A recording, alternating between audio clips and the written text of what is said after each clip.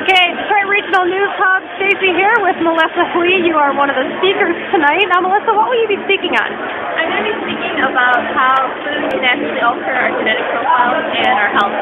And your health. Okay, now what ignited you to present that tonight at Ignite?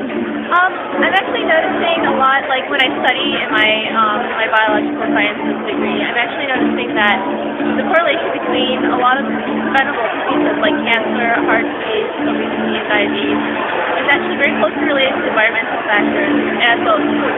Um, so kind of exploring the connection to how we actually actively take control of our health. Okay, well, is there anything in particular you're looking forward to?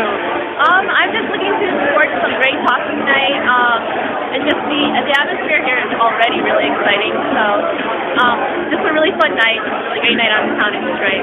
All right, thank you very much, Melissa. We look forward to you, and uh, good luck.